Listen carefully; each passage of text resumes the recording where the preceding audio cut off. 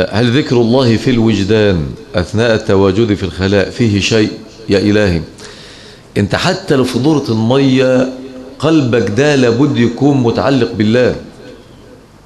المكان ده من الأماكن المهمة اللي أنت محتاج فيها معونة ربنا ولطف ربنا وتوفيق ربنا.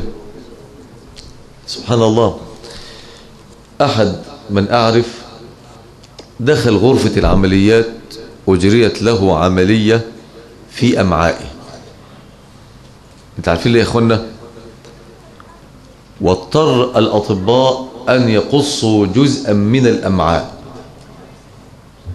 لأنه أكل والطعام لا يخرج.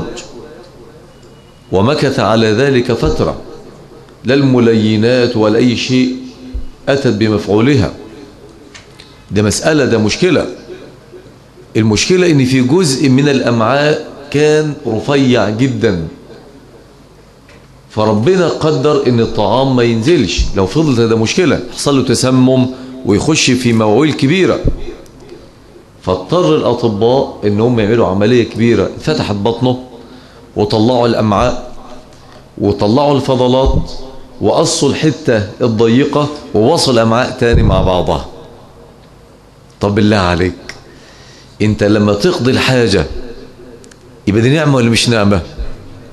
مين اللي لطف بك وترفق بك وأخذك على جانب المودة والإحسان وأحسن يبقى لما تجد إن الفضل الله يعني المسائل فرجت معك يبقى دي لطف من الله ونعمة من الله. لي صديق هذه الأيام أسأل تعالى أن يشفيه وأن يعافيه. كان في صحة وعافية. علمت بأنه مريض منذ أيام ذهبت لزيارته. وجدته مجهدا منكودا مجهودا مهزوما. لا يستطيع أن يتبول. فاضطروا ان هم يجيبوا دكاترة المسالك عملوا له أسترة. فماشي والأسترة في إيده.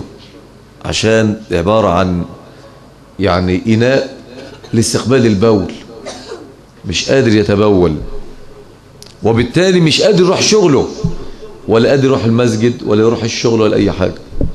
لو أي أحد فيكم دلوقتي عاوز يتبول بيعمل إيه؟ بيروح الحمام ويقضي حاجته. دي نعمة عظيمة جدا. لحد شايل درنقة ولا شايل مبولة ولا أي شيء. إذا عندما تدخل الخلاء أيضا أنت تذكر الله تبارك وتعالى. تتذكر نعمه عليك ولطفه بك. وتذكر آلاءه وإحسانه وجوده. ده كله من جملة الذكر. إذا ذكر الله تعالى حتى لو كنت في الخلاء تقضي حاجتك.